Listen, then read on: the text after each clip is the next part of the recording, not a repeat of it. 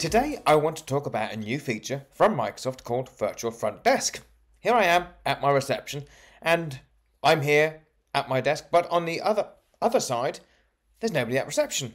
You've got this wonderful reception desk, but no one is able to man it. We're all inside working, for example. So how do we create that virtual front desk? Well, with the help of Neat Frame, our all-in-one 15-inch device, we can put a device on the reception. So, here we go. We have a device on reception now. It can be secured with a Kensington lock or thread lock, uh, so no one takes it away. Nice and secure, and by default, you'll sign it in with a Teams shared device license, and it will automatically come into our hot desking mode. So what we need to do now is change it into the virtual front desk. Let's just zoom in a little bit. So we go to our settings, into our device settings, and our Teams admin settings. And we have a new option here called virtual front desk. And what we have to do is say who we want to call. So for example, we'll set it to call Miriam. And again, you could have this calling another device. So maybe you have a neat board in your open plan office area. It could call that so someone knows there's someone at reception.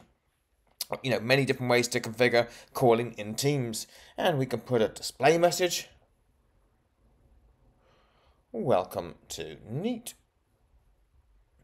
So lots of text you can put in here if you want. And a call button message. So this is the button that will appear at the bottom. So press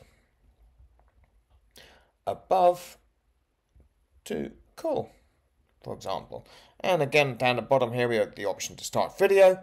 And just make sure we had Miriam saved in there. Add an adder in. Now it asks us to restart our application. So this now takes it out of the hot desk mode and puts it into the virtual front desk. And there we have it. That simple. We're able to put this on reception now. Someone comes in, presses the call button, and there we have myself on video, now calling Miriam, for example.